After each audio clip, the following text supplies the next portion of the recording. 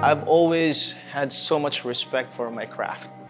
I've always had so much passion for what I do and what it can give me and how it can make me grow, not just as a person, but as an, as an actor. I see so much growth in this business. I've, I've seen myself lose my temper. I've seen myself be victorious. I've seen myself feel defeated. But it's all part of it. It's all part of, you know, having to get back up and rise again and be better and grow. So I guess my main drive is my passion. It's really my passion. And I don't want to be stagnant. I don't want to rest on my laurels and just, you know, settle down and say, oh, okay na, okay na, I'm, I'm, I'm fine. I, as much as, you know, I'm getting older, I still want to grow. I still want to be able to learn more from my peers and hopefully impart what I've learned through the years and share it with the younger ones.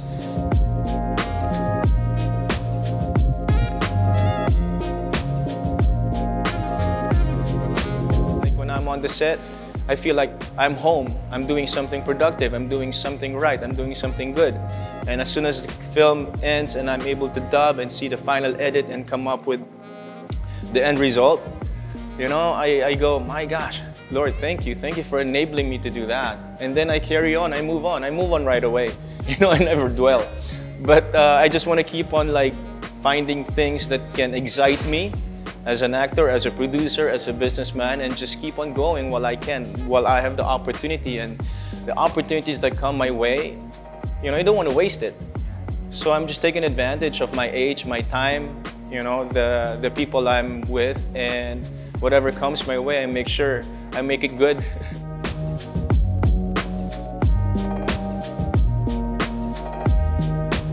no matter what misconception people may have about me, I never would dwell on it because it's a pitfall. You're always going to be at the losing end. So my response to that is I get better, you know, I study better, I want to take the higher road and be more mature and look at it as part of, uh, well, you know, it can't always be sunshine.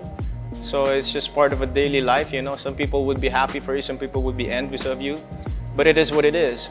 So you got to carry on and just, you know, be yourself. The thing I like about being in this business is that I don't have to pretend, you know, who I'm not because, you know, I'm able to exercise my real character on and off camera and I don't have to I don't have to be another person just because I want to I want to please somebody. So I would say I'm in a better place because I don't have to prove myself and if I ever have to, I mean, seguro out of necessity,